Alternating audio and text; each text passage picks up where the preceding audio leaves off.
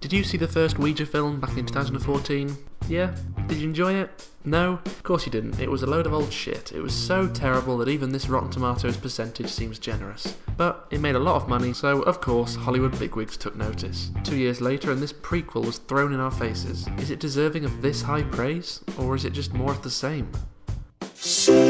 Set in 1967 and opening with this gorgeous vintage Universal logo, the film certainly feels closer to old school horror than most modern gore fests. Narratively, its old hat, single mother and her two daughters start messing with Ouija boards and little Doris becomes possessed, which of course paves the way for plentiful jump scares and paranormal shenanigans. But despite the shortcomings of this unoriginal plot, Origin of Evil packs some pretty effective punches.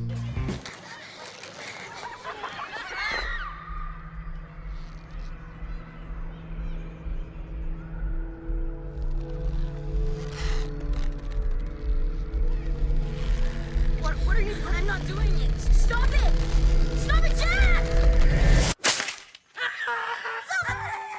Cash in horror prequels have been around forever and have something of a reputation for being, well, shite. Primarily due to being unfocused and forced, pumped out of some studio with little care purely to cash some checks. But Origin of Evil seems to have some effort behind it. A large focus on character in the narrative and some solid acting means we almost care for our heroes, a rare feat for any modern horror film, while strong direction and sound design creates a stunning sense of atmosphere with most of the scares being well built and hitting fairly hard.